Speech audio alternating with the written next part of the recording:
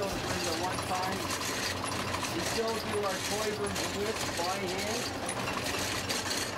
but the uh, big rooms are done on the sewing machine, and, and that's a lot faster than hand sewing. So we have improved a little bit faster production since 1908.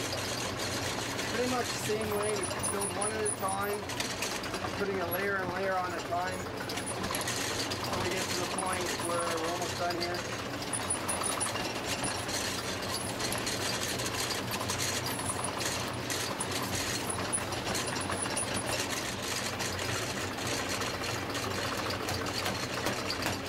This is. We one of the last shop left in Canada.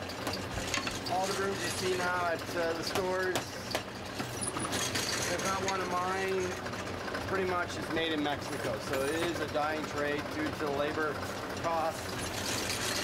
What makes you go? Uh, we like, uh, I don't know, actually.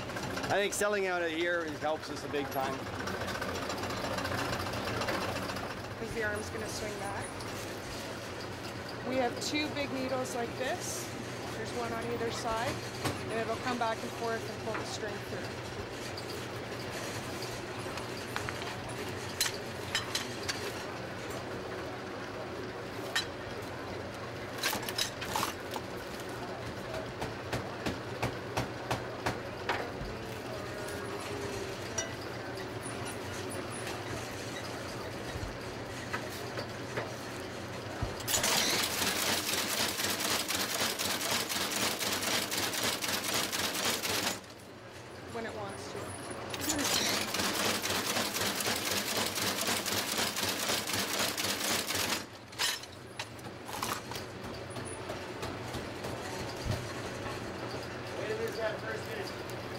I didn't miss it, it dropped.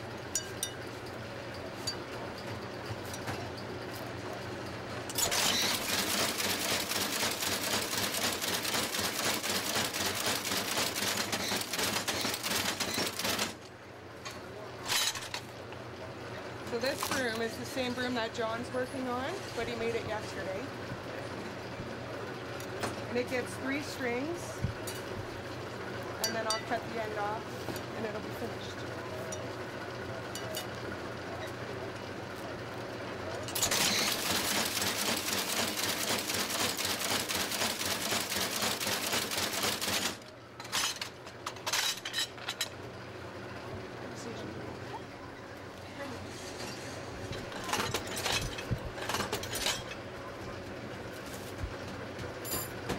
And this is our cutting machine right here.